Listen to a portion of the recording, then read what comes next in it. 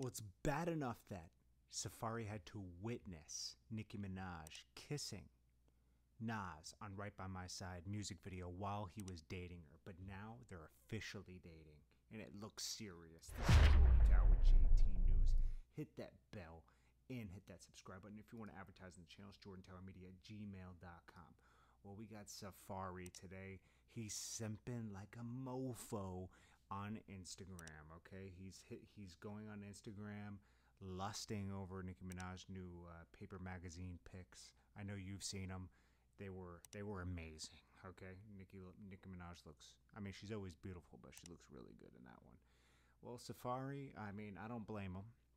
He's simping okay but all the times he's tried to tear her down a little bit you know he hasn't gone on a real rampage about it but he is i don't blame him for being a little bit bitter if he's not getting all the money he feels like he should have been getting from just contributing on those albums whether it was just production and like that that that is a job when you go into the studio with someone else and create and bounce ideas back and forth. That is a job. It's just that they were dating at the time so it was looked at a little different you know because that's like your sp- your spouse in a way just helping you and supporting you so Safaree has had to you know lose Nicki Minaj to Meek Mill because he was cheating on Nicki Minaj right?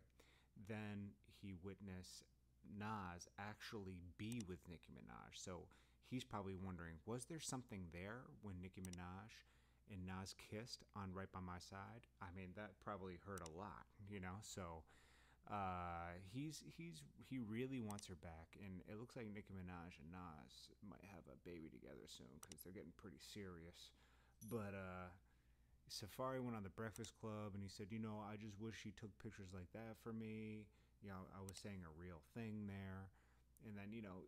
He, he got he got in, mixed in the whole thing with Nicki Minaj and Meek Mill because supposedly Meek Mill told Nicki Minaj that Safaree was cheating and that's how he got her.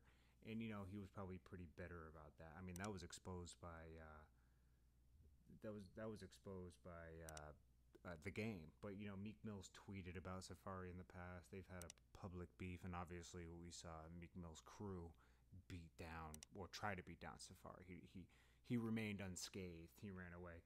But uh, yeah, Safaree is just he can't take it with uh, Nas and Nicki dating. I don't blame him. You know, when you lose a good girl and you realize you messed up, uh, it sucks. You know, he he's been with her, been around her at least for a long time. I don't know when they started dating, but he was around during the first video we shot.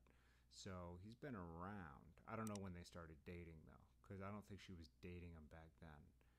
I think they were just still supporting each other from that group they had back in the day. I forget the name of that group, but they were part of a group.